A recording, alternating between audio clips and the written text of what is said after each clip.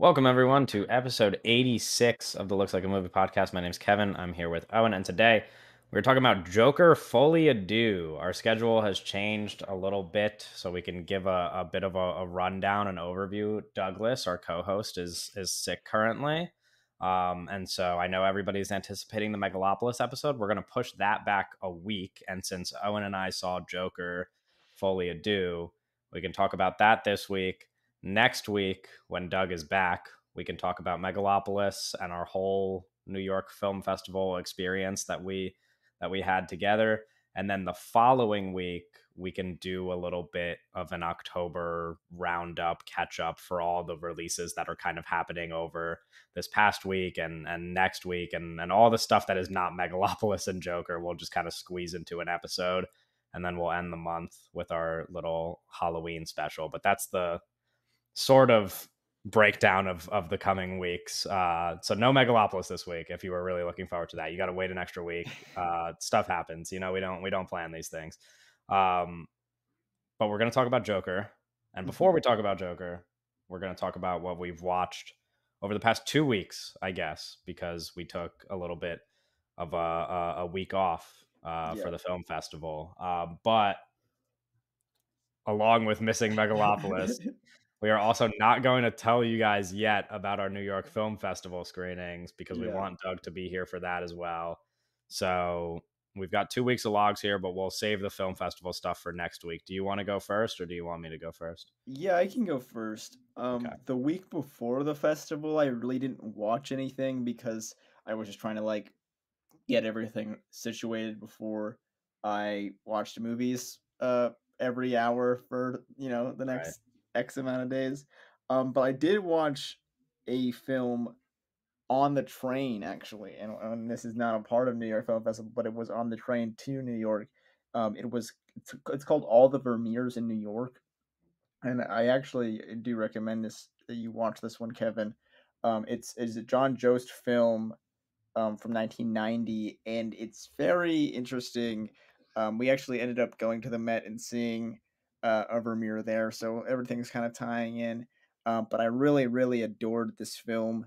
Uh, it's I, I don't really know how I would describe it. I wouldn't really put it in a box uh, per se, um, but it kind of does have um, little like sitcom moments, but there's very interesting like formal elements that are tied to it. Um, it's it's a funny kind of little New York movie, um, and I really really enjoyed it. But it, it's it's not the easiest to talk about because An it's like it's incredibly long description. very long description and she's kind of explaining like all the like little things they do um Yeah. but it's it's an interesting film that i recommend people check it out it's not you know it has 5000 logs in letterboxd it's not like a you know Right. well-known film but i do do really enjoy that one um and then you know a lot of new york stuff um I, what's the next the next thing i can kind of talk about is um it's not a part of the festival but uh, me and doug had some time to kill so we we went to the the Metrograph in New York and we saw Mysterious Objects at Noon, which is uh, Weerasethakul's feature length debut. Oh. Um, it's a it's a really good film. I, that was uh, Doug hadn't seen a, a Weerasethakul film, and I've only seen a few of his films, um, but I, I do really enjoy his work. And and then this one was a cute one. It's not my favorite of his, but I mean it's it's still a really really solid, well made film. Um, and then you know, a bunch of New York stuff.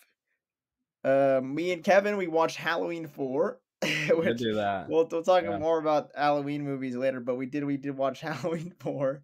Yeah. Um, that was and uh, and then me and Devin we watched um we watched Johnnie To's Mad Detective uh yesterday. Um, Right. but outside of that, it was it was mainly the kind of the New York Film Festival. We watched some you know short films and stuff like that at the Right. um the film co-op, um, and I went to the one of the Beavers uh, retrospective screenings. But outside of that, it was a lot of the the the New York Film Festival stuff that we'll talk about next week. Right.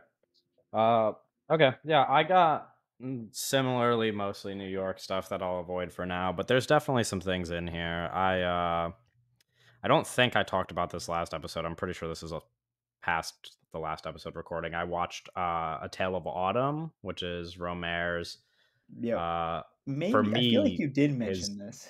Maybe I did. I don't know. It's did. I feel like we recorded on the 22nd and it says I logged it on the 23rd, but M- Yeah, perhaps maybe we talked about it before, but conti- you can just continue. We'll talk about it just again. you know, I'll just talk about it a second time if I did. Um because did I talk about Snack Shack last time? Yeah. Okay, because it says I logged those both on the same day. you but you in my definitely head- did talk about Snack Shack. I feel like these are the two movies he talked about last time. You know, the calendar is all off. That's okay. We it- could it- we could skip you know we, we it's We been a don't- while. It's We're little- it has we're been a little- while. It's not important. The point is, it, it was the beginning of autumn, and now we're kind of like in the autumn season. You know what? I'll so check that guy's list. I'll recommend that uh The guy's list. Oh, yeah. little little pod insight. Do we t- do we tell people about this?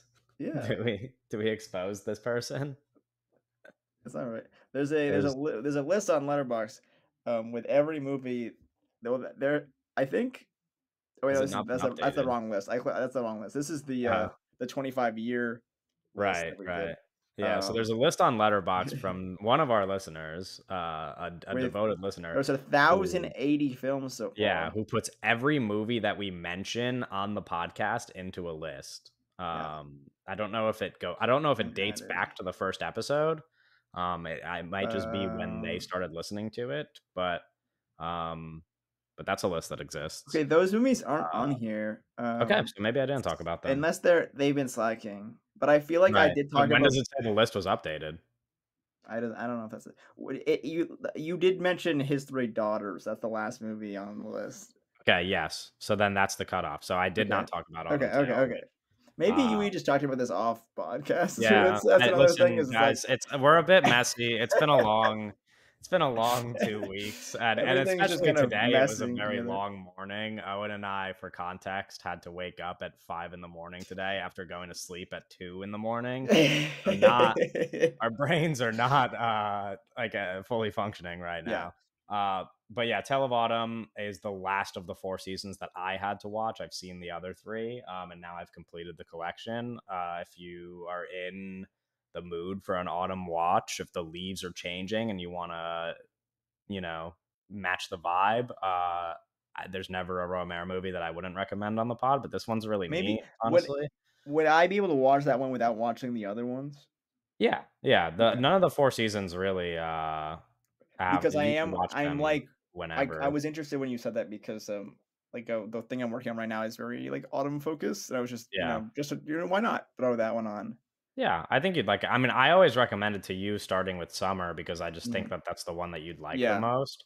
But I, I've been. That was kind of my thought process. Was like I, I when I was watching a lot of these Rohmers, like I had seen summer and I had seen winter, and then I waited until spring to watch spring, and I could have Yeah. just like finished the collection this summer, But you- then I yeah, knew yeah, yeah. fall was coming, and I was like, I'll just wait a little bit, and then it was the first day of fall, and I was like, okay, this is perfect. Let me let me watch it Mhm. now um because it's just nice to like match the match the season Yeah, no, the leaves are changing. It was really yeah no uh, i mean it's i woke up this morning i didn't really, really realize beautiful it. outside. um but yeah i woke up this morning and i looked out my window owen has now seen my bedroom there's no uh there's no blinds in my bedroom they're just Yeah. it's just the window and so i wake up this morning and i look out my window and the leaves are just like i'm i don't maybe i just didn't realize it before but it just looks like full blown fall now and i'm Mhm. like this is really nice uh it just Yeah. got me in the mood uh and then kind of like uh I, I again snack shack which i mentioned like uh perfectly watchable like fun time that kind of like gets ruined by the ending i think a little bit um some people m- might think the movie gets enhanced by the ending but i was just trying to like catch Maybe up the, on the movies. guy's slacking on the list because yeah i feel I was I about I was Sarah was like I hate that guy's. I was talking about the what's the guy's name? right no maybe yeah maybe we did talk about it anyway i have other face. movies that i have other movies that we didn't talk about including uh hale county this morning this evening which is a RaMell Ross documentary, the director Oh, yeah. of Nickel Boys, which we did see at the festival, which again we will talk about next week. But I wanted to watch that to preempt Nickel Boys. Mm-hmm. Um, and if you're going into watching Nickel Boys and uh, you're not sure if you're gonna like it because it's it's ha- you know the the reaction to Nickel, it's it's a very unique film. It's it might not connect with everybody. I would really recommend checking out the documentary. I think I think it would be a good uh, thing to to do to prepare. It's like 70 minutes long and it's a wonderful documentary. And I think it just kind of gets you in the right headspace for what you're going to experience yeah. when you watch Nickel Boys, which is such a like groundbreaking film. Um, it's so mm-hmm. cool.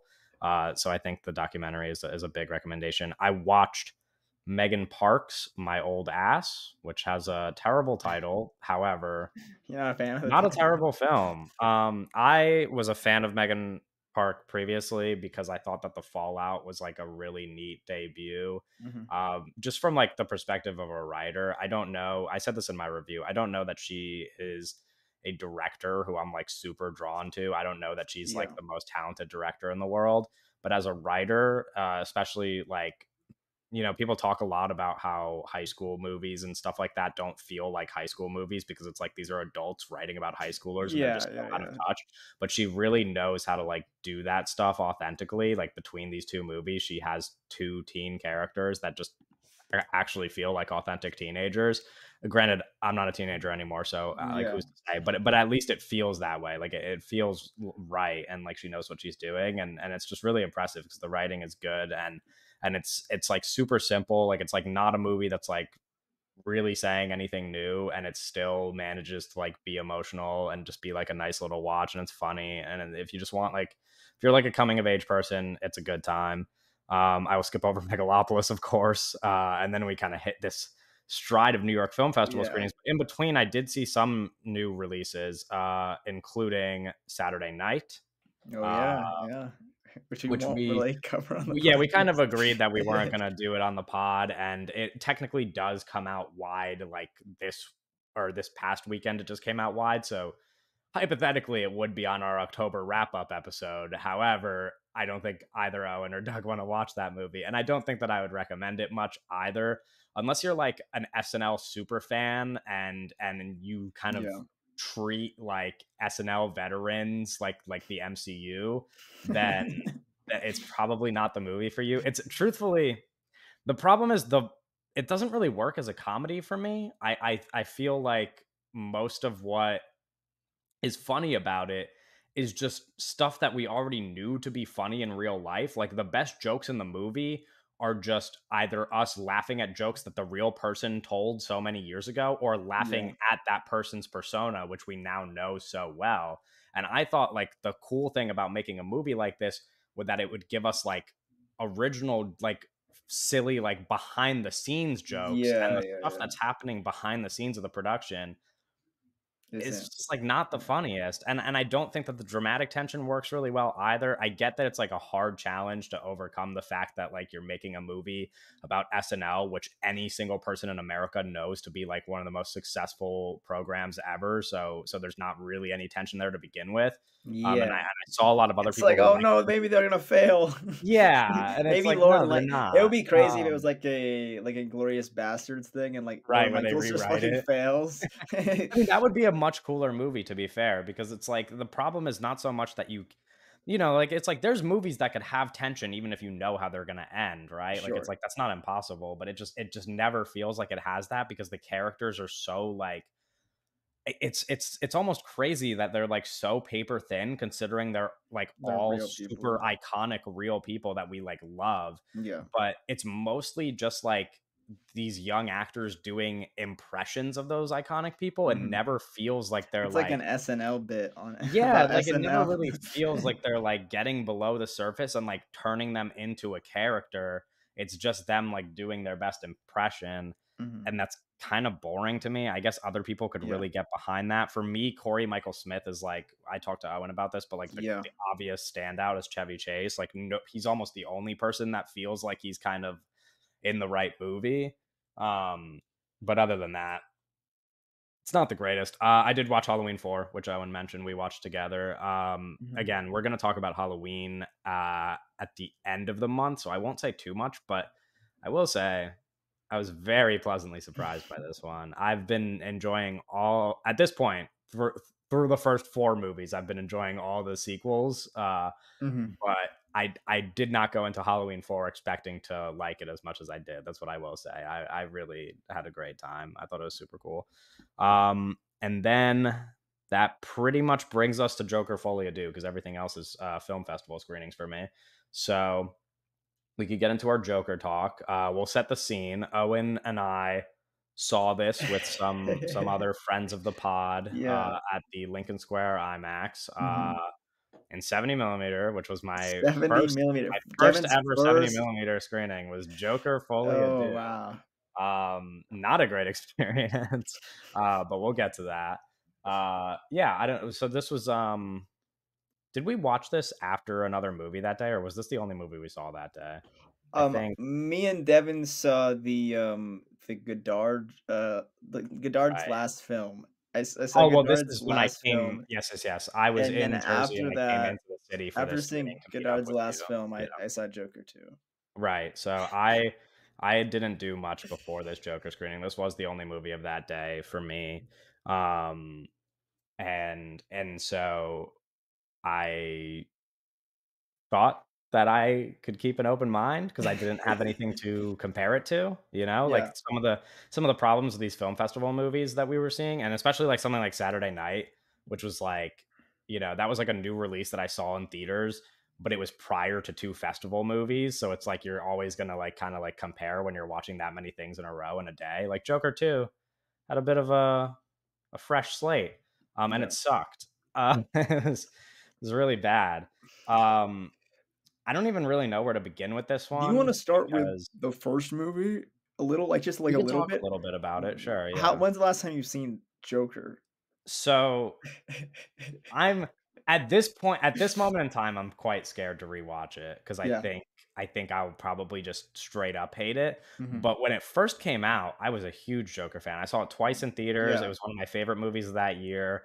And and then my thoughts on it kind of like got worse and worse even without rewatching it. yeah, And then uh I it's probably been a bit now, but I, I want to say either like a, a year ago or maybe two years ago now, but like sometime between the one year ago and two year ago window, I rewatched it with a friend who had never seen it Mhm. um and i was just watching it and i was like this is so much worse than what i remember yeah, like i still like kind of liked things about it i was like it's not like Mhm. an awful movie but um but that was my most recent rewatch and i was like damn this is this is like a clear step down from from what it was when i saw it in theaters yeah. This is okay, this can like age me like really crazy, but Joker 2019 was the first rated R movie I saw in theaters.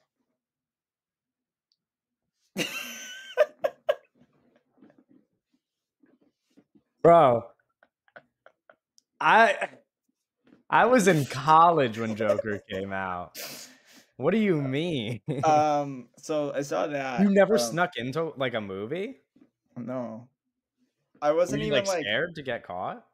I mean, I just didn't like. I was watching like what came out 2019, like Infinity War, Endgame. Endgame came out in 2018. I was like, that was like that was what I was like watching like you were watching like baby movies. yeah, I was watching like it's just like slop. I don't know. It was 2016. There was what- never like a time when you were younger where like your 2019. like a group of friends were like, Um, "Oh, there's like this scary like horror movie out. Like let's let's buy a ticket for a different movie and sneak into this one." That never happened. I mean, I I probably have seen I probably had seen an R-rated movie before that, just not in Just the not theater. theaters. Okay. But I don't I don't like I actually can't like point out an R-rated movie that I saw before that. I'm sure you have. I'm though. sure mean, I saw one. I just don't Yeah. think I can't think of it. But I remember specifically like I saw Joker with my dad, and it was I I had never seen an R-rated movie before that. But it really wasn't like I mean, I would see like you know like popular things, but I wasn't really like watching them. I was probably like watching like television. Like right. I was watching like CW shows. What happened to you, man? You were like But you were on like a clear trajectory to just like being like the ultimate normie, like like posting on Twitter about how you know the the Flash is actually good or something. But I mean, so I was 16. So I was in what grade are you in when six, you're 16? um, I guess like between Like sophomore, and junior, like end of sophomore year or beginning of junior year, depending. Yeah, I think I was a sophomore. Um, Yeah. so yeah, I mean, I saw that when it came out, and but like, I hadn't seen any movies, so like it was like, oh, this is movie's cool because I hadn't seen any movies. Um, Yeah. but I don't think I've seen it since. I probably like had seen it like maybe like when it came out, um, like able to rent. I probably watched it again, but I probably haven't seen it since like 2019, Mhm. 2020 maybe. Um, and I probably seen like 2000 movies since then. Um, so my feelings on it have definitely changed, but I haven't I have not rewatched it yet. Um, I don't really have any plans to see it anytime soon, Right. but it makes sense as a like looking back on it and it being like a billion dollar movie and like a like a reasonably like liked movie among like Mhm. you know the average movie viewer. It makes sense that it because it kind of is like uh, especially like the first one is just like kind of pulling from a lot of other things and like if you haven't seen those things like oh this is really interesting because i have no uh kind of frame of reference uh for stuff like that um so it kind of does work as like first r-rated movie in theater it's like wow i didn't know you could do this shit Yeah. uh, but No, after that makes sense. after seeing other movies it it's interesting to look back on it Yeah.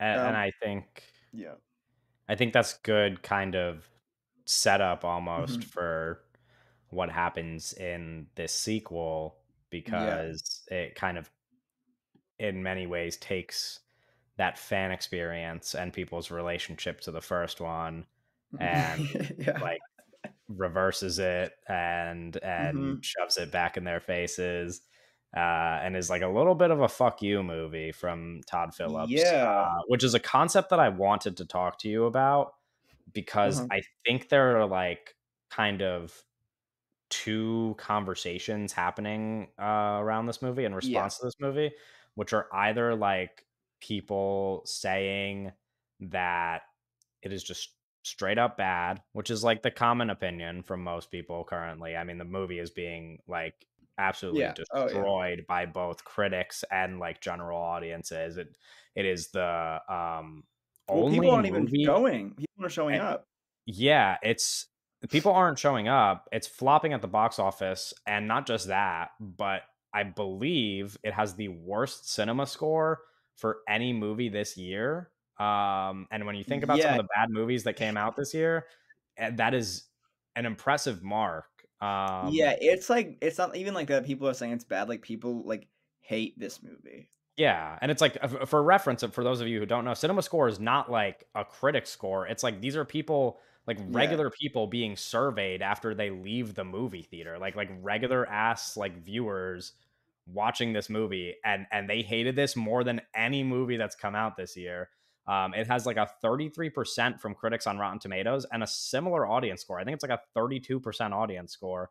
Um, so just like absolutely hated by the masses mostly and so that brings me back to what i was saying there's there's there's the two responses it is either that where people are just like straight up this is an awful movie or there are kind of people trying to already claim it as like being smarter uh and and like could be a yeah, movie that in the future develops this cult following because it is Todd Phillips kind of making fun of the fans of the first movie and being fed up with the response to the first movie and how people might have misinterpreted the first movie and found themselves you know like too connected to this joker character who is not somebody that uh todd phillips wanted you to empathize with i guess um mm, yeah, and and so he kind of wanted to make a movie that is like fuck all of you guys um and and that is ultimately like successful here i guess but my yeah. problem is that i don't think it makes it a good movie and No, that's that's kind the of where that's the big issue.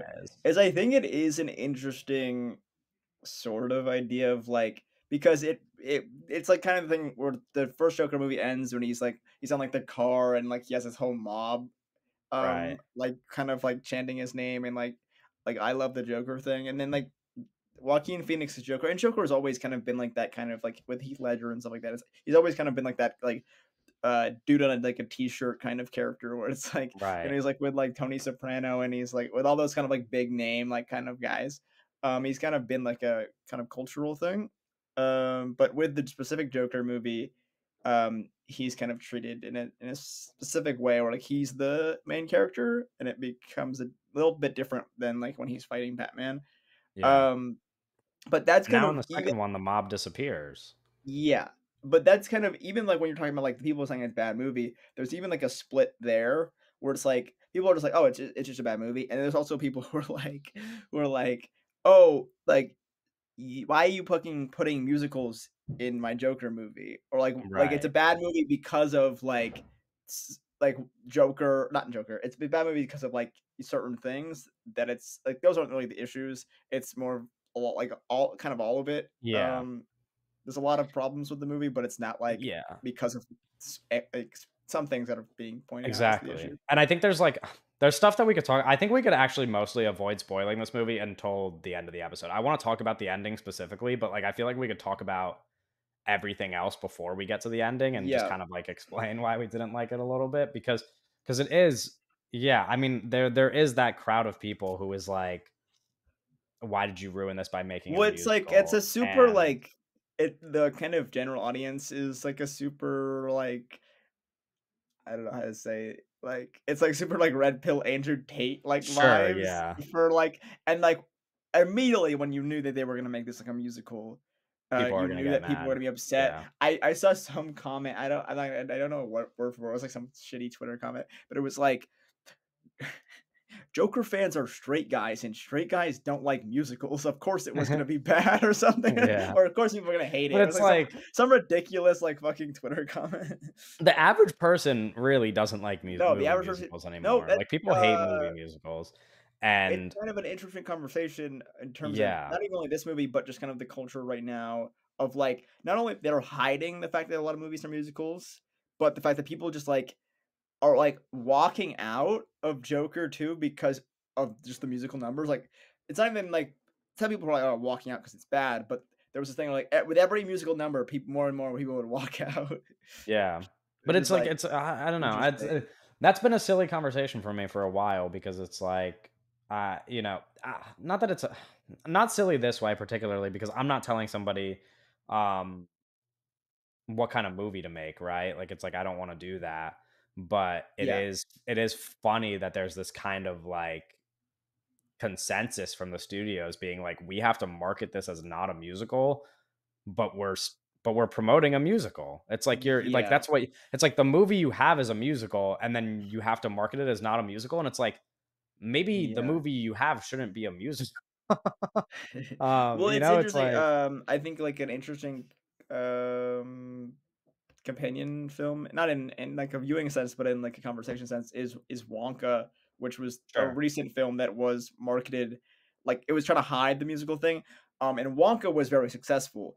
Um, and that is like it's an interesting thing of like what went wrong here. I think a lot of it has to do with the audience, um, and like who yeah was expecting to watch this movie because I think with Wonka, it's like you probably could have marketed that as, as a musical and maybe it would have done a little less. But I think when you go to see Wonka and it is a musical, you it's easier to kind of get in that rhythm than like going to see the sequel to like this like gritty Joker's yeah movie. Um, and he starts singing. I mean, Um, even Mean Girls is a similar example yeah, when they like reviving Mean Girls as a musical and and then like putting out a marketing it as a trailer where there is just a song playing over the trailer hmm rather than like showing any of the musical numbers.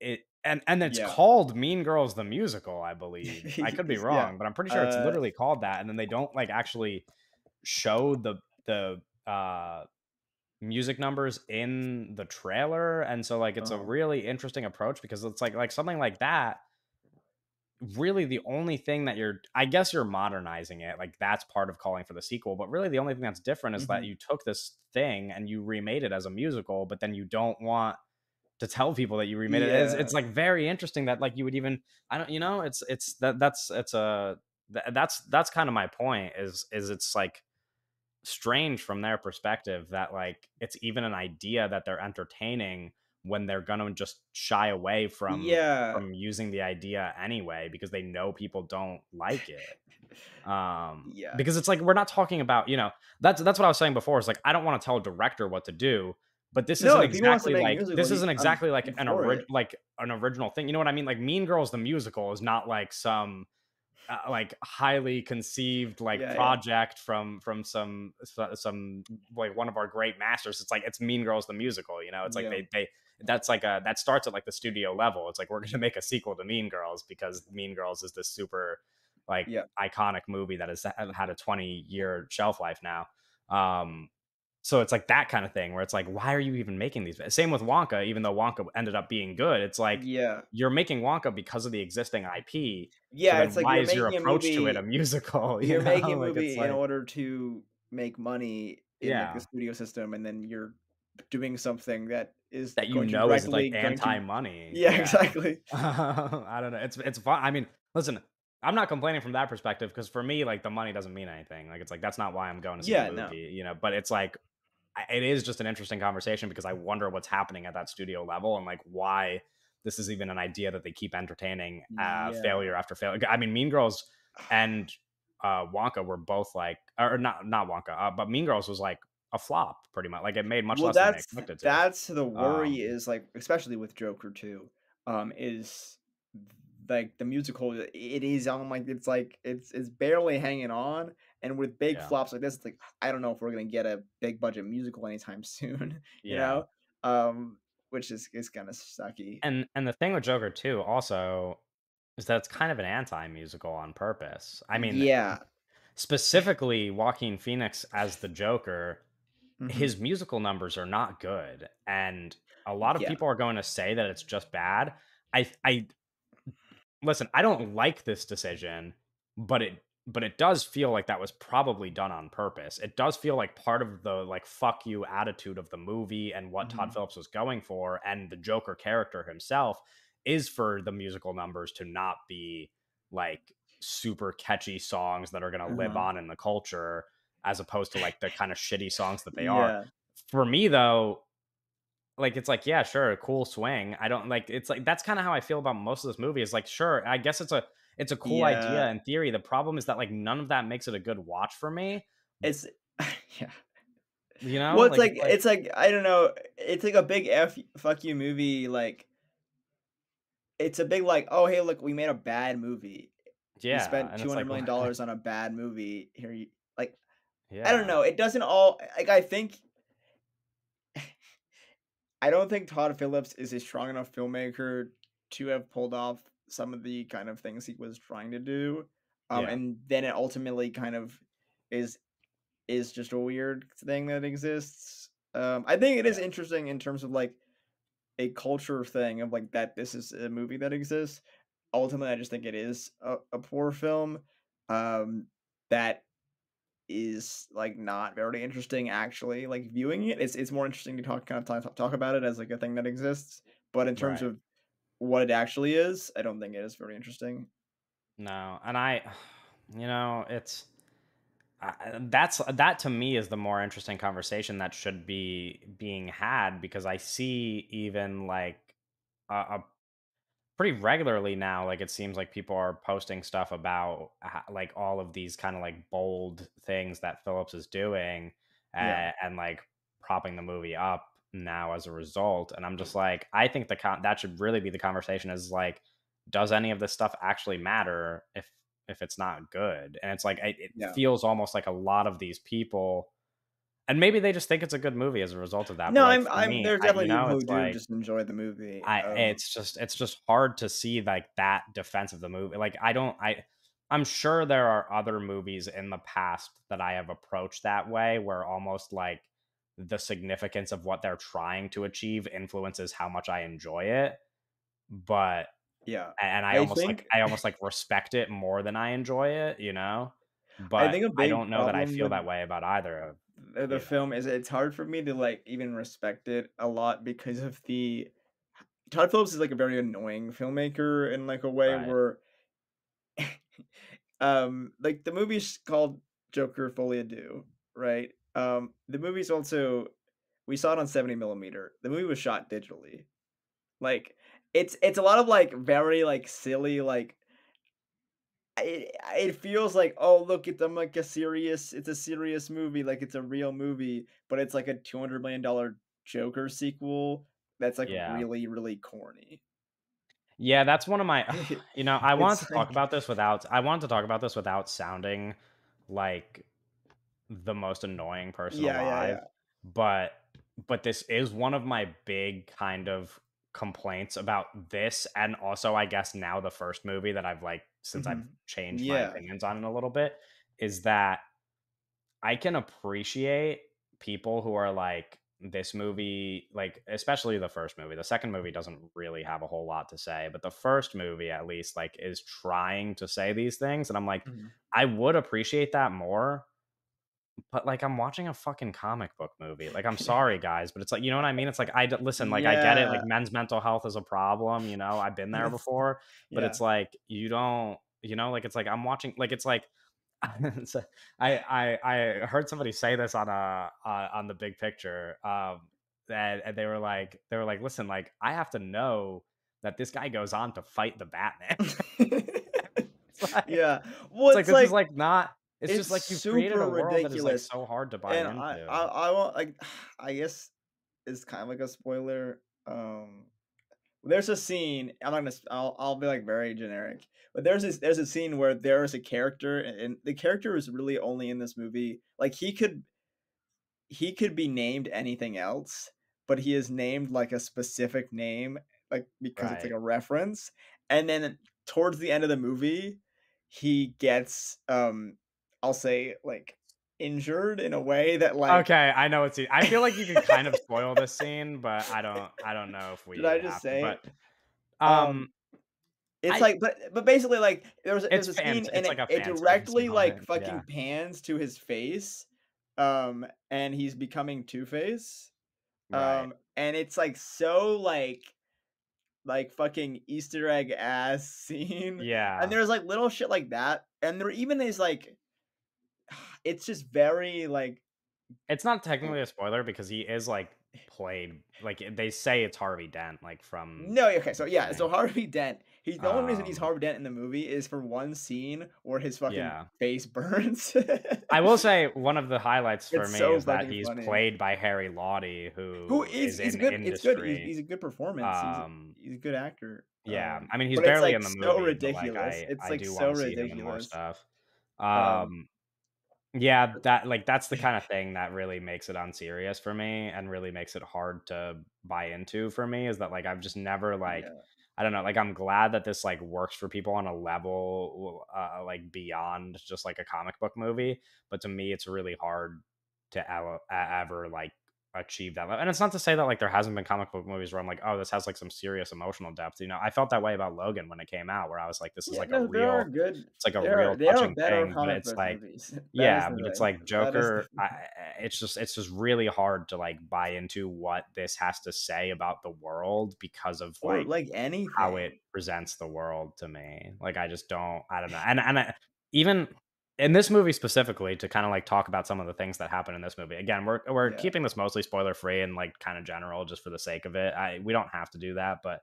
I just, you know, uh, Yeah. I, I don't think it's a movie we have to spoil, um, like plot by plot wise. No, But no, no. the movie the movie kind of like brings in a lot of uh movie subgenres that I otherwise kind of adore and Mhm. and take them so much less seriously in like this environment. Like that's like the kind of thing that like completely pulls me out of the movies that like hard it's like it the two real big things here are that it is it is half prison movie, you know, like Yes. a like a And then- Shawshank Redemption type of thing yeah. and and half courtroom drama. And if you know me, I love a courtroom drama. Like I could watch people talk in courtrooms for hours. Like that it is it- that is that that is like so great cinematically Mhm.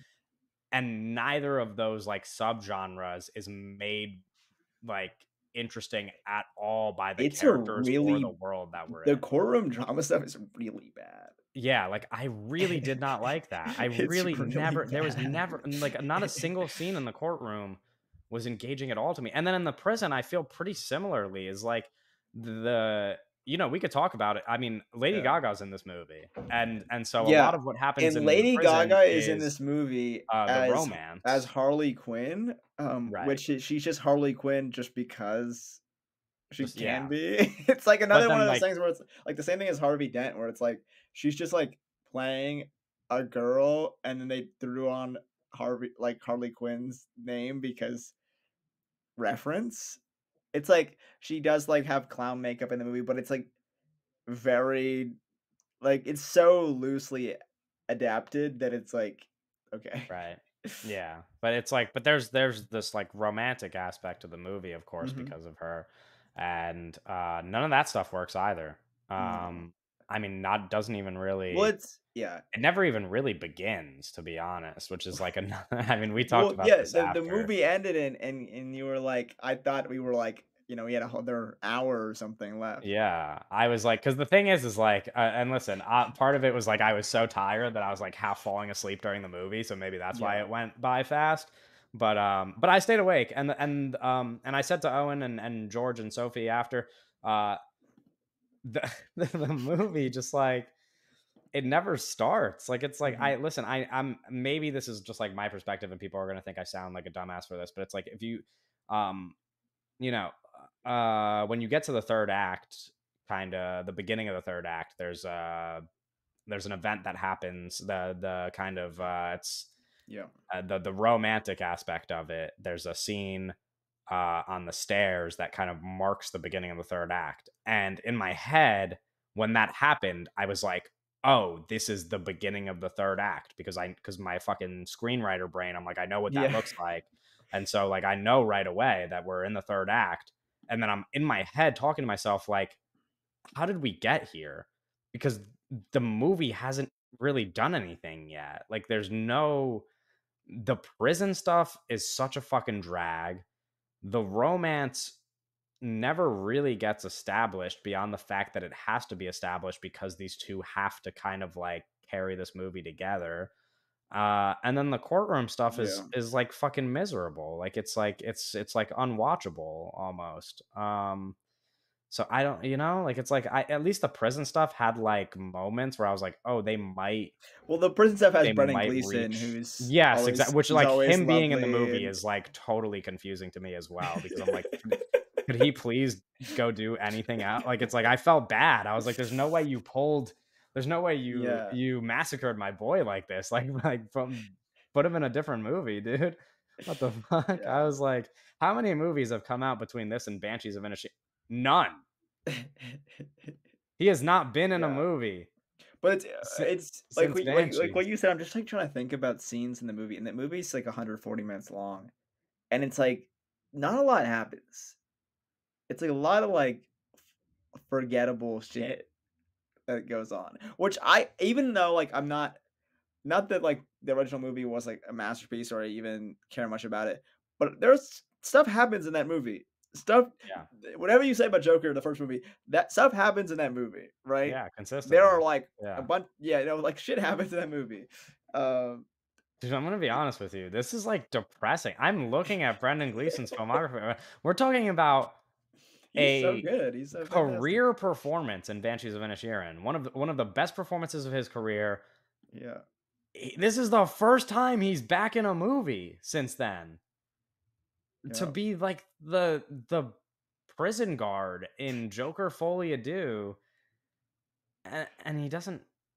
He's like, it's not even consequential to anything going on. Like the prison Yeah. stuff is so pointless almost that I'm like shocked that this is how he follows up what is one of my favorite movies of the past few years. Um, i mean maybe the bag was good sure, yeah. I mean, that's like you know the maybe he can go retire when you're a Brendan Gleeson kind of actor, you have to do these things because he's not really leading movies. You know, he has to he has Yeah. to feed his family. he, be, but, he um, should that'd be fun Sure. I mean, I like uh, I've I've long thought that he has the talent for. it. I mean, he's amazing. He's he's fantastic. Like uh, there's no I don't think anybody's doubting that, but it's like why are you even here, dude? Like it's like it just makes me feel bad. Like it's like I'm watching the movie and at first I was like is that did they get a Brendan Gleeson lookalike for oh you didn't know he was prison guard? No, I didn't know he was in it going into it. I was like, "There's no way that's Brendan Gleeson, right?" And then there was a moment where I saw his face a second time, and I was like, "Oh, that's just some guy that No, really looks like Brendan voice Gleeson." And then he shows up again, and I'm like, "Oh, it's literally Brendan Gleeson." And I was like, "What the fuck?" and um what's it called uh catherine keener's in this movie who Yeah. voices um, she's got a great great Yeah, voice and uh, she's like, you and know, she's she- she it, and then she's not in it, and then it's Right, it's but this isn't the first time she's, like, kind of No, I know, I know, I'm just in talking about random bad just talking about people movies, but movie, um but she is she does know how to pick them, though, she's in a lot of great projects as well. Um Um yeah, Yeah, I don't know, like, the cast is just, uh I don't know, Steve Coogan shows up for one point, that was interesting, I guess, um, Ken and Leung, who's also in Industry, both him and Harry Lawtey are Ken Industry, has, the like, Industry boys are 1 winning right now. Is he Yeah, in the he he's just, not in the 1st movie. I why is he in this movie? I I don't know, he just He shows it's plays like archive like yeah, it's like he's like a doctor. just, like, talking for one scene. It's so random because speaking of, like, tremendous actor, Yeah. um, I I saw I mean, he shows up, I'm like, "Oh, I I love him, he's so fantastic." And he's just kind of Yeah. in here to be, like, a witness, um in the in the courtroom Right. Um, Um, I mean, it's, like, I kinda one of those things where it's, like, you have $200,000,000, you can bring this guy in for 1 scene. Um, silly Did you stuff. see, though, that Francis Ford Coppola liked the movie? I did, I did, um, and I forget who was the other I think it was Spielberg, I think there some there was some tweet about, like, Steven Spielberg and Francis Ford Coppola have, like, the most dog shit contemporary film tastes of, Yeah. like it's, like it's very funny, like, um, there are contemporary filmmakers or or even older filmmakers who have a good good modern taste. But uh, maybe it was Martin Scorsese who they're talking about, but it was, like it it was, like, Francis and some other person. They were, like, these feel old Scorsese guys has pretty decent modern taste, I don't know, Okay, sometimes he I might I be I forget what the producing bad the the exact but tweet was, but, um, it was it was pretty funny. I'm just kind of I ca imagining, um, and I I and fucking Francis Ford Coppola watching that movie. Right. he he was like, "I love Todd Phillips, I love Hangover 3," or so he said something, like, stupid like that. Yeah, he did, that was part of the quote, yeah. Um, that's very silly. Uh, the I guess kind of, like final thing I wanna mention about the movie is, li uh, like a a a thing outside of the movie is Todd Phillips kind of, uh, going out and being like, "Yeah, I'm I'm done with the DC with DC after this movie," like, I don't Yeah, really I somebody kind of asked him about the idea of a Harley Quinn-led movie, and he was like, "This is" he was like, "I think these 2 are just it for me, like, um, this is all I really wanna contribute." So, um, Yeah, I so mean, that's kind of like the I never really expected there to be a the Joker sequel, and I I don't think Yeah. you know, he's not gonna um, I think it's an interesting, like, where do you go from here in terms of your like, 'cause you were the Hangover guy, And and then you you made 2 Joker movies that were, like, super self-serious, and then, like, the 2nd one, like, hated the 1st one, and, like, the 2nd one was also, like, the one of the biggest flops in recent Yeah. memory, um Uh, is this like a situation where the movie is almost received so poorly that whatever he does next, people are just not going to give a fuck about? Well, I don't think if it's kinda like the it's probably, like it's bigger than that. It's probably he's you know, not saying he's Jon Watts, but it is kinda like one of those things where it's like, people like Hangover, right? And that was like a but it came like it became a kind of like a little franchise, and then Joker is like an IP, and then it's like, but are people going to see Todd Phillips movies for Todd Phillips, right? At this Uh, point. yeah, At no. it's like he's so he's big in the pop culture because he directed the Joker movie Yeah. and The But I just I I meant more so that I just, like I kind of wonder. If the next step for him is doing something smaller because Yeah. Joker 2 is such a "fuck you," Well like, is he is he essentially making this movie and saying that, like, he doesn't want think want to make another movie like this, or is he just going to go, like, jump into another big studio project? I I forget who said it, um, but it's kind of just like a conversation piece of, um, not everyone can do that. Not everyone can go down, you know? And it's like kind of those things, once you hit an X amount of dollars you're never some people just can't go back. Someone Yeah. who can, and there's a lot of people who can, but, like, I think, like, David Gordon Green, who's able to work in, like, different spaces, and, like, he did the Halloween movies, and now he's doing, like, a smaller indie movie, and, like, he's able to, like, bounce around, and there's a lot of guys who can do that. Um, not everyone can, and, like, if a guy who's, like they get a $100,000,000 movie, it does bad, and they're like, "I don't wanna go back and do an indie movie," and then they never make another movie again.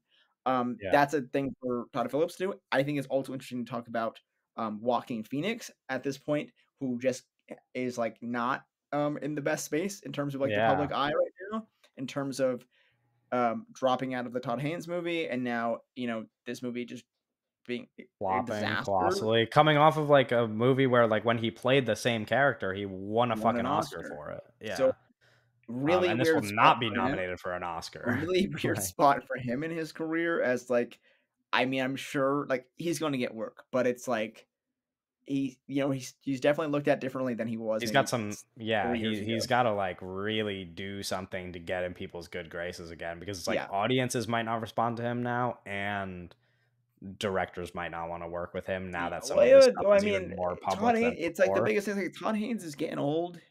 He's he's only got X amount of movies left in him, and he spent all this time on this movie, and and Joaquin really doing that is is really messed up. And I think a lot of people aren't going to be too particularly Not just that, but a lot of people in Hollywood really like Todd Haynes. Oh yeah, oh He- yeah, He oh yeah, a he is a well liked director in Hollywood. There are not like there are not like you know like the, the sentiment in Hollywood about Todd Haynes is like su- overwhelmingly positive. Like it's like that's not really a, a mm. guy that you just like.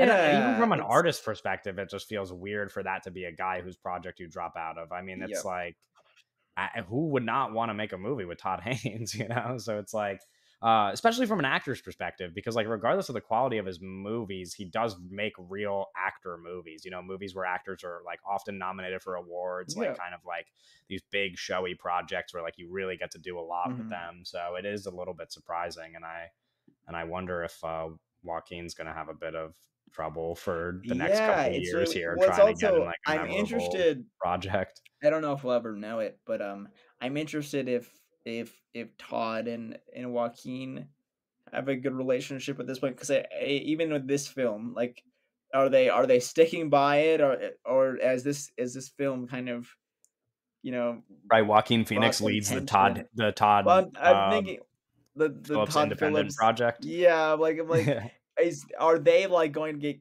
the booted to be like they're the only they have each other or or are they separated too? Is this a are they on their own? What is what is the the future for these two guys? Yeah. we will No, these see, are you important know? questions. What about Gaga, who like kind of uh, you know, I think if anyone, I think if anyone Star Is s- Born and then escapes, doesn't get to do a lot here. yeah, I think if anyone escapes freely from this movie, it is Gaga. I think Yeah. you know, she doesn't really do anything to like make her reputation worse. Yeah, I doesn't mean, really even get did to drop do that all that much album at that people aren't li- loving. Um, like it's Yeah. like with the movie. uh, Um, I think she could immediately like go into another role and be really great. Um, and Yeah. and then like ev- everyone's gonna talk about her like she's amazing again. Um, but I don't know. Maybe I'm wrong. Maybe this is like the last big role for her. But I don't. I just I don't think so because you talk about House of Gucci and and stuff like that. Like that movie wasn't received very well, and obviously this is like a bigger thing. This is a bigger deal. Um, but I think she will be fine. Um, Yeah. I, I feel like when you talk about like who's uh whose face is on the the fucking failure, it's it's Joaquin and and and Todd Phillips. Yeah. No, that makes sense. Um, okay. I mean, that's Joker Folie à Deux. Uh, oh, we actually, you know, we didn't talk about the ending, which we Yeah. maybe want to mention a little bit. Uh, like, quick, like spoiler warning. We'll just we'll just mention it and see if Yeah. we have any thoughts about it. But uh, so so don't listen to this part if you don't want the ending spoiled. Uh, Joker dies.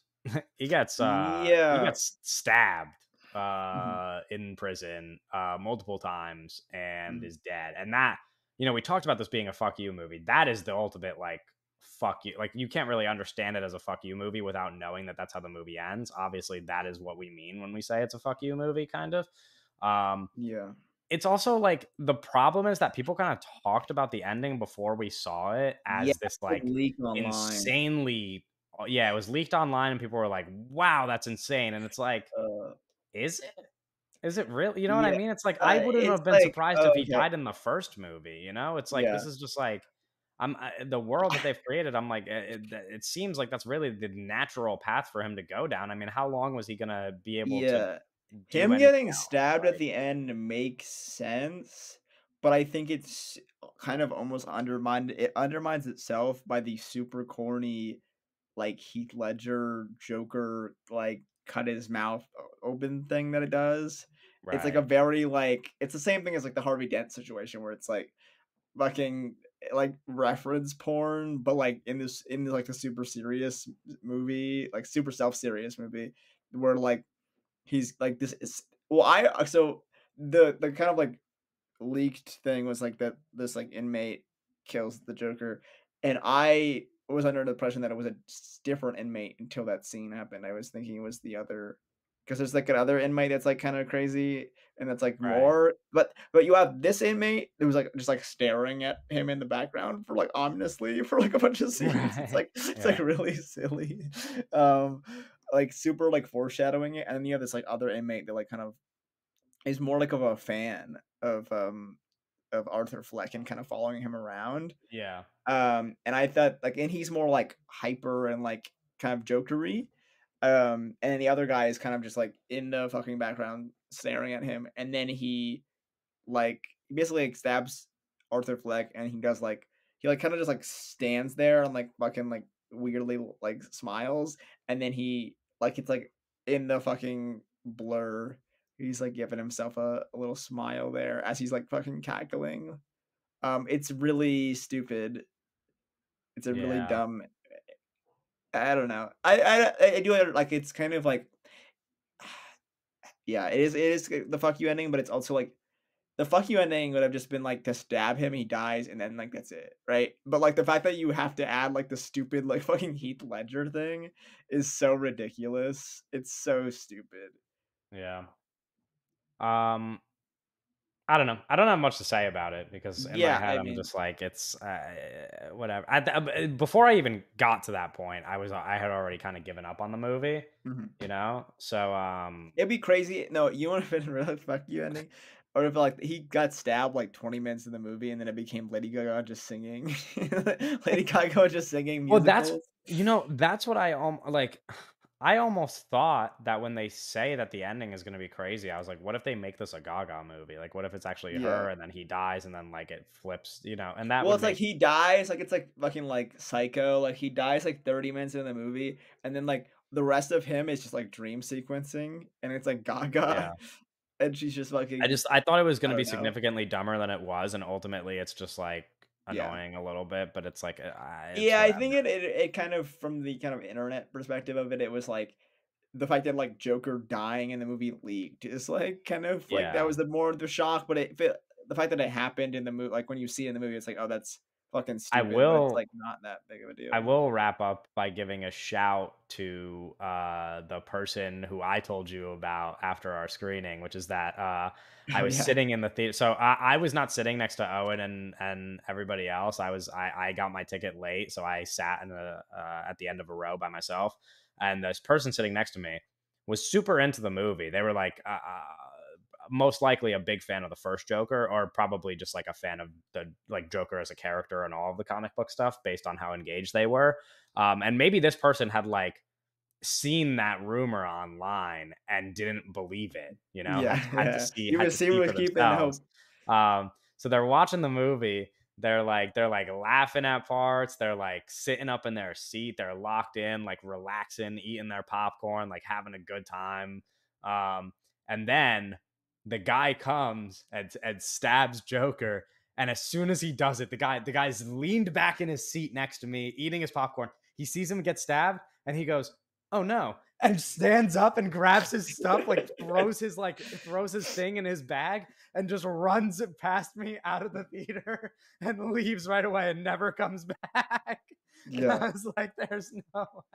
It's like like, the I fucking those I, like I a memes very special where type it's of like person that night. the fucking sad part of the movies that happens and they just close their computer and that's the ending. I was They like, I was like shocked because it's like, you know, we we um we kind of like poke fun at like some of these people who are like super into these movies and stuff, and it's like, uh, you know, uh, whatever. If you like Joker, you like Joker, but it's like you never really like realize it until you like kind of experience one of these people. It's kind of like with um not to make this too political, but you remember like we kind of I don't know if we talked about this on the podcast. This is probably an off podcast conversation, but kind of those like over the top Trump supporters, like the like the kind of people who are just like so like yeah. like weirdly passionate about him and it's like you you you It's uh, like it's almost like it's almost so like ridiculous they yeah it's like so that ridiculous so like you can't believe this and then you see one of them in person and you're like Yeah. oh people are actually like this Yeah, and that's kind of how I felt watching that guy see Joker die and like run out of the theater. I was like, oh, people like it's not just like it's not just like oh people like it's not a Joker. It's like oh people really related to Joker. Like Yeah. really like saw the movie and were like oh this is this is And, like yeah. it. Like And then this this Joker two is almost like very sacrilegious to people who Yeah. like treat Joker and like put him on like a pedestal of like oh like he, that's me like it's like it's like if they made like an American Psycho fucking sequel and then like he was doing like dancing and like then they fucking stab him at the end or something I don't know Right. it's like if they like I, but it's like a total like misinterpretation of like the first movie in terms of like the idolization and then the second movie is like no he's actually like don't idolize him but it's again we talked about it, it's like still a bad movie um but it definitely rubbed a lot of people the wrong way um in the in the treatment of of the joker one thing i actually wanted to talk about um i just remembered um what did you think about the little like little cartoon at the beginning of the movie oh I completely forgot about that. yeah i just Um, remembered Yeah, that was like a it was like a was fun little cute. thing. i was like, i that's would kinda like- i i I was, was like, oh, maybe Todd Phillips is kind of like having a bit of fun with this, and then the rest of the movie. I because it's I- the I was whole the lost so cartoon. um, the the kind of thing is like Joker's shadow and and Joker's shadow taking over, and it's kind of like the the separation of Arthur Fleck and Joker, and that's kind of what the movie's about. It's like those two people, uh, kind of being separate, and and Arthur Fleck not wanting to be Joker anymore, and not him. That's not really him, you know. Um, and I thought it was interesting. I wish it would. Honestly, the big fuck you thing, and if they wanted like if uh, Todd Phillips really wanted to go over the top with it, he would have done like fucking Who Framed Roger Rabbit. Like there would be like animated fucking characters going on, and it would have been like totally ridiculous and like super crazy. Because I think the animation part was cool. Um, I think it would be it would be a better movie if they worked that more into the film and it was like a part of the actual film, and rather than it just being like a little opening thing. Because it was like an opening Yeah. thing made by separate people that was just like at the beginning of the movie, rather than like yeah, a part of the the, the, the kind of film as a whole. yeah, um, yeah. I was like, okay, it's, it's Yeah, it's a little you cute. know, it's a little the, cute thing. the rest of It's probably my happens, favorite it part kind of the made movie. me forget It's- about it. it's probably my- yeah, it's like- it's I don't like- know that I have a favorite part. yeah, it's yeah. Um. Okay. Uh, we'll talk about some news. We don't have a ton, uh, but reminders, of course, to like, comment, and subscribe, and rate the episode on Spotify and Apple Podcasts, uh, and follow us at all the links. You know, Twitter, Instagram, TikTok, wherever. You can join the Discord, um, and and you could come back next week for the episode, the Megalopolis episode that you, uh, of course, were promised. Don't worry, it's not going anywhere. We have plenty to say. Uh, but big piece of news that kind of ties into the Joker stuff a little bit, which is why I wanted to uh start with this piece of news and and and really the the only like kind of meaty piece of news here that I think warrants a conversation. Uh, studios are assembling superfan focus groups to assess various materials for a franchise project to avoid social media backlash. They the quote is they'll just tell us if you do that, fans are going to retaliate. If it's early enough and the movie isn't finished yet, we can make those kinds of changes. Um, it's an interesting conversation to have Yeah, in conjunction with the Joker thing because of the f- kind of fan backlash to it. And it's like, yeah. is there a world in which if they tested a focus group early and they were like, oh, the ending is going to be the Joker getting killed, and then they just like forced Todd Phillips to remake the movie? You know, it's like Yeah. this this uh, the the idea of it is just like as much as I would prefer Joker 2 to be a better movie, the idea of testing a focus group to to change the movie is like infinitely worse um, than Yeah. than the movie we have. Um, um it's it's really silly i think um this isn't like a thing that just like started yesterday right like this is sure, um, I mean, focus we've been group, kind of work no i mean but we've kind of been working up to this for a while and obviously like these big companies like even you think about dc in general um a lot of what's been going on with dc in the past decade has been them listening very closely to kind of what people are talking about online like like a lot of the, those like the the Snyder projects made money, right? But they kind of shifted gears of because of what the fans were saying, right? Um, and it's that is like a very negative precedent and and scary for like the future of like these big movies.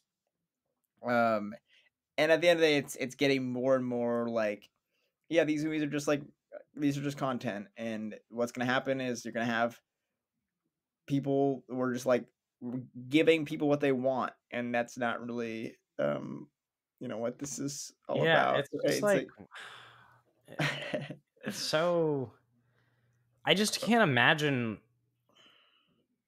like going into stuff with that perspective, which is like you Mhm. want st- like like as a fan, you almost like you need things to go your way, you know? It's like yeah. we're talking about art. Like it's like I, go play Dungeons and Dragons or something, dude. You know what I mean? It's like if you care so much Well, about like making your own story, Just like it's like, like reading the like, the Twitter comments and, like, the blue checks and stuff, a even the lot of blue checks were upset. Even the no, blue I I checks were like, see "This I is the death see of creativity." yeah, no, I Like, see did see some of those, but there were some there's comments and it a lot of it, like a lot of the people agreeing with it or or that, like, it comes from, like, a place of, like, "I'm paying money to see this," right?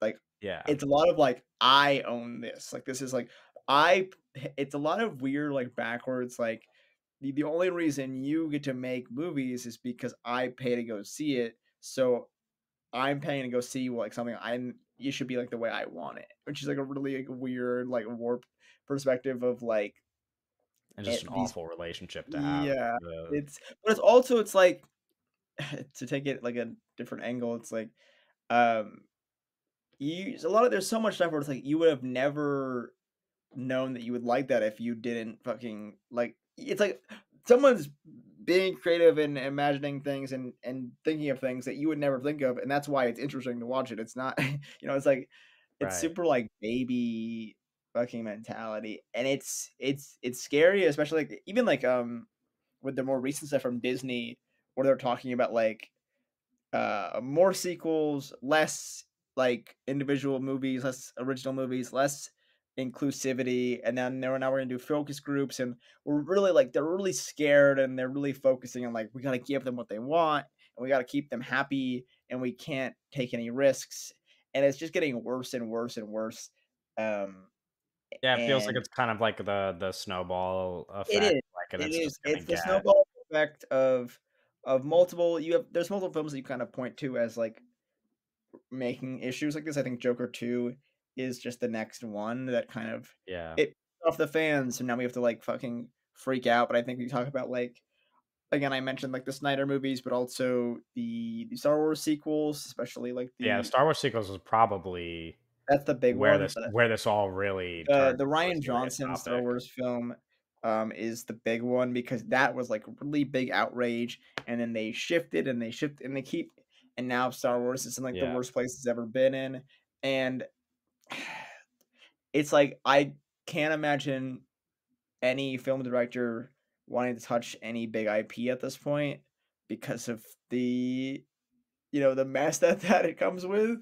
yeah, Um, and it's interesting, and when you think about that, it's like it might just get to the point where it's like no interesting artist is is working with big IP, and and maybe that kind of will cause some change in terms of like You know, because a lot of times we get, you know, it's like, "Oh, damn, the this X, Y, and Z is working on this new fucking slot movie," right. and and then the more fucking control that focus groups have, I think the less less people are interesting people are going to to wanna do it. Yeah, I mean, a like check's a check, and you're gonna have people and yeah. whatever, but I think the like, the the control now isn't even that great, but if it's gonna get worse, Because the um, thing is, it's you like know it's just you know, I I understand the kinda, like, do one for them, like, you gotta make money type of thing, but at some point, when when you, like, push these Yeah. artists too far, it's it's going to feel, like, soul crushing to them, like, it's like you're doing Mhm. soulless But work, I think it already is like for many people. yeah, for most of them, yeah, but then it's like,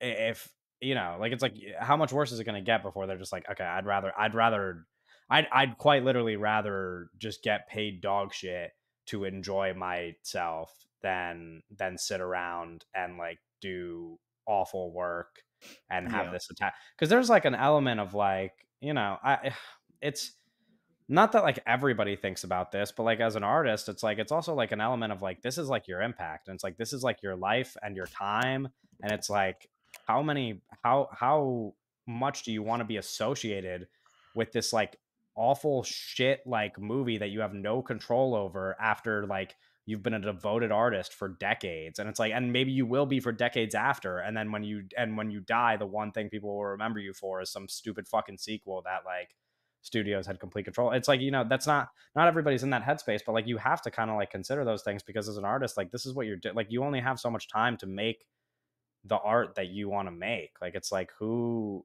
uh, you know, obviously you need money to make that art. You need money to like have a life and, and a family and whatever. But it's like, at what point is this shit just like just like too fucking much, dude. Like it's like what are we Yeah. doing to to people if this is, you know. And it sounds like obviously like it sounds so privileged to be like some uh, some of these people doing like studio movies are already like super successful and like making millions of dollars blah blah blah, but it's like uh, you know like this stuff still matters. like it's like from from an artist Yeah. perspective like this is the only thing you think about, you know? Like it's like you're not like uh, thinking about a maybe some of them are, but a lot of these people are not thinking about that stuff. Like it's like you want to make art. Like it's like you're not Yeah. nobody It's nobody ever like goes down that trajectory to be like yeah.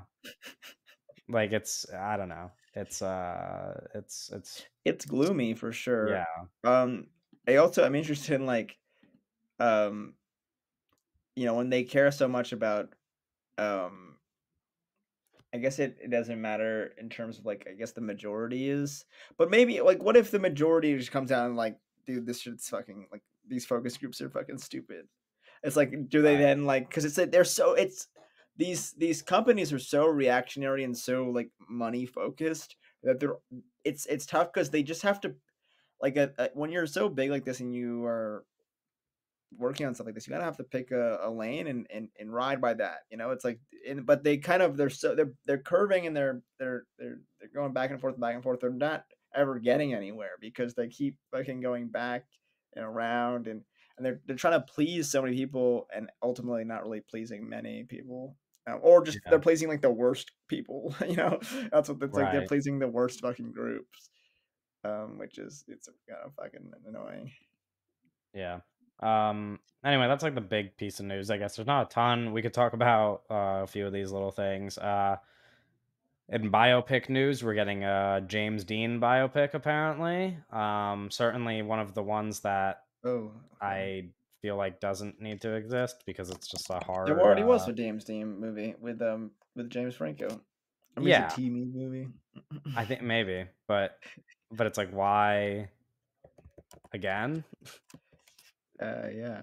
And not just again, but like why at all? And the first, I don't know. It's just like. Do you remember the like CGI James Dean thing, where like he brought him back? oh, what was that for? I don't remember. I feel like I do remember seeing it. I remember people talking about it. It's well, like that was like a CGI thing that they were gonna do for a movie, like, right? And then they never made it. maybe Is that what it was?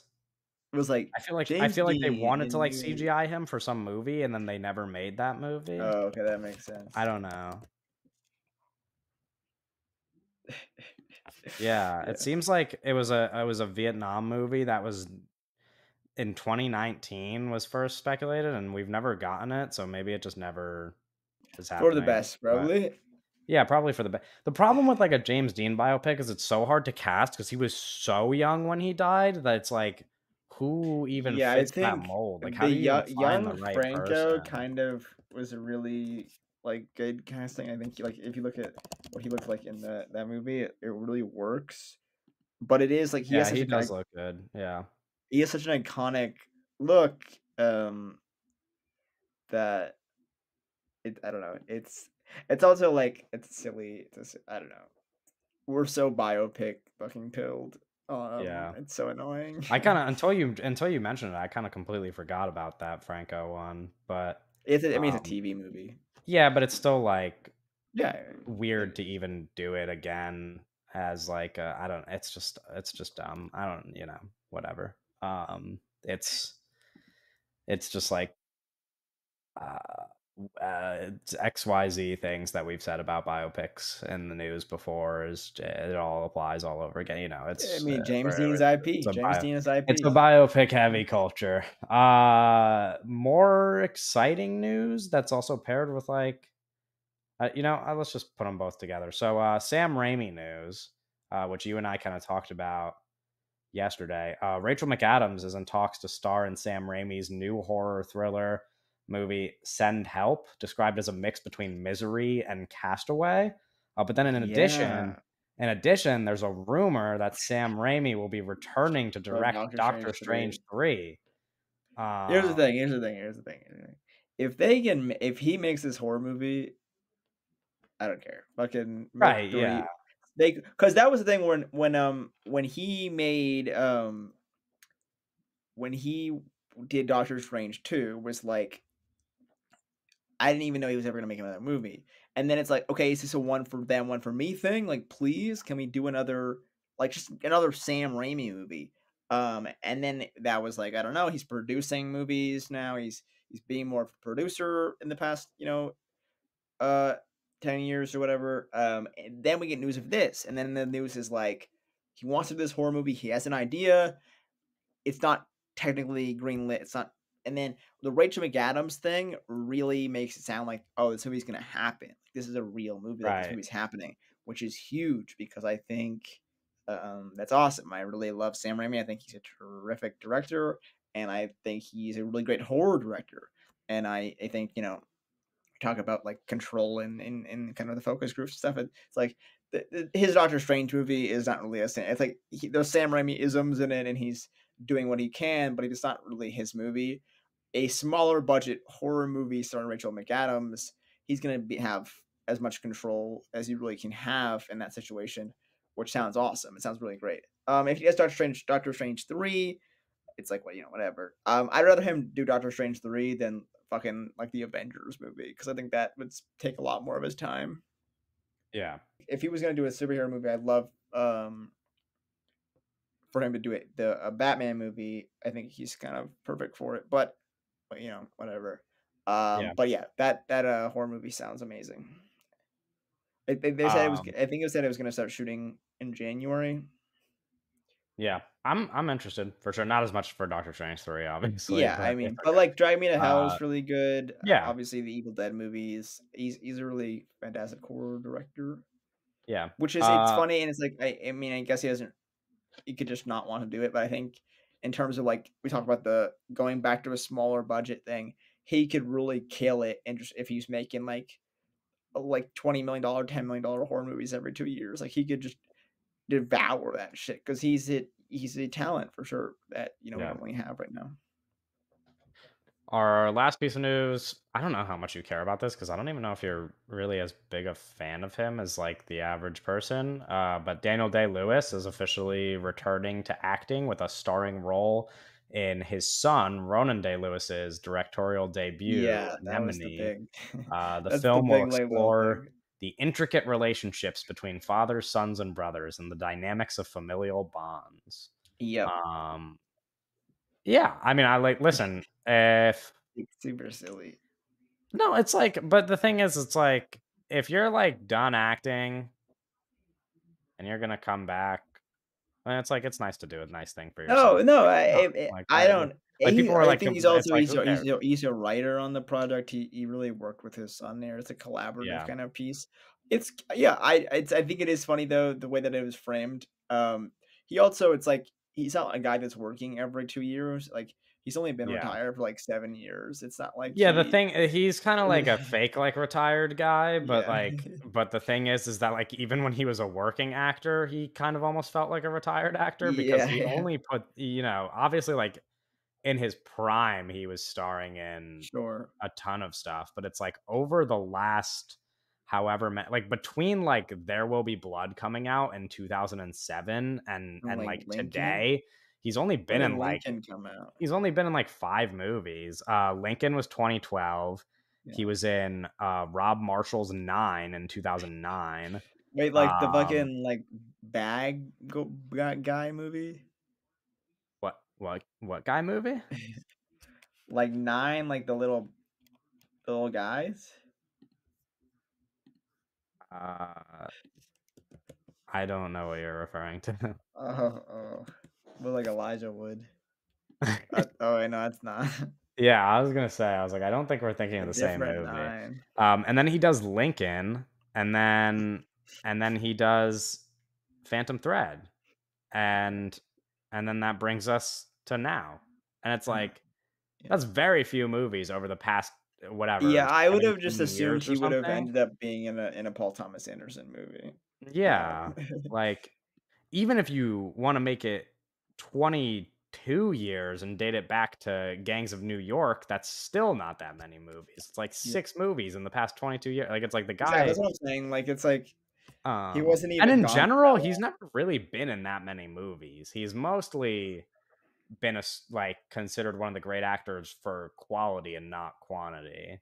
Mhm. Um, but but yeah, so every time they kind of post the like coming out of retirement thing, it's just like that's just every time he acts. Like you never really know if it's gonna be his last movie because but it's like I I- it's never not exciting. Like it's like obviously I'll watch him in anything. Like he's I yeah, yeah, and it's like this is not- overall like not as exciting as if it was like he's in the next Martin Scorsese movie or something. you know? yeah, of uh, course. Or but maybe it's I don't know. You know, maybe we'll see. Well, maybe it's yeah, maybe his son's talented, maybe not. I don't like you know, it's like who cares? I don't. It's like he's one of those people where it's like, um, you know, there's a, there's a lot of like talk of like overrated, underrated things when it comes to movies or athletes or whatever. Like he's one of those people where it's just like, uh, it's just as good as you say it is. You know, it's like it, there's not like any like other way to approach it. It's like kind of like when people talk about like the Godfather and Citizen Kane and stuff, where it's like I want to like give you a hot take. The truth is, it's just like everybody loves it, and it actually just is that good. It's like everybody says Daniel Day Lewis is one of the best actors, and then you see him act, and you're like,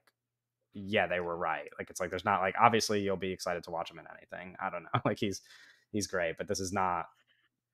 It's cool, you know. I don't know. uh, Maybe it'll be his last, his actual last movie, which like that. That's just, that's a reason to look out for it, I guess. Um, but but that's a piece of news. Um, we could end there, wrap it up, and next week we will talk about Megalopolis and the New York Film Festival, assuming that that episode doesn't get pushed back. um, no, we will we will talk about Megalopolis. We'll talk about New York Film Festival, and we'll see you later. Bye.